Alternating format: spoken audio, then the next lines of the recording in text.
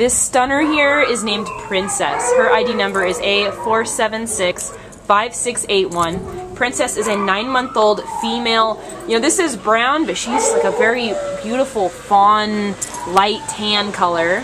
Uh, she's got some white on her tummy there, so she's a fawn and white uh, pit bull mix. She came to the Baldwin Park Animal Care Center as an owner surrender on October 12th. Um, her previous owner said that it was too much responsibility to own a dog.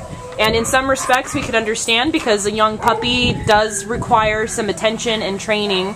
Um, so if you're not up for the task of working with a puppy, um, you know, it's not really for everybody, but that's why she's here and that's why we're here to help her find the right family who's willing to work with a nine month old.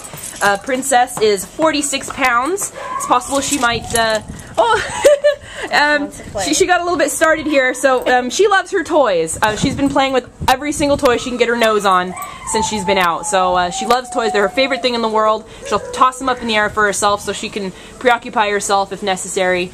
Um, she's 46 pounds. She'll probably get a little bit bigger once she turns into an adult. Uh, she's just a classic puppy. Uh, she walks fairly well on leash. Um, her tail is always wagging. Um, she even got her to sit on command earlier, so it's possible she may have had some basic training before coming to the shelter. And um, you know, any puppy can always use more, so she can grow into a, a wonderful adult canine citizen.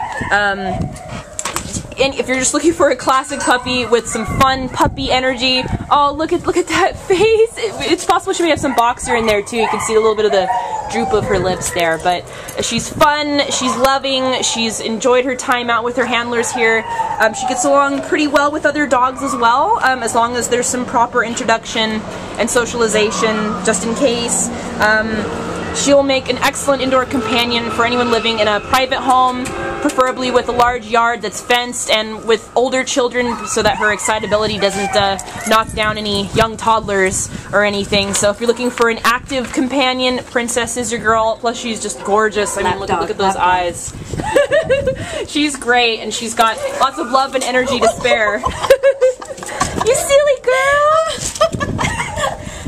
she's done with her video. So goodbye, princess. And if you're coming to, if you want to come adopt her, she's the Baldwin Park Animal Care Center, and she's ready for you. Bye, sweetie.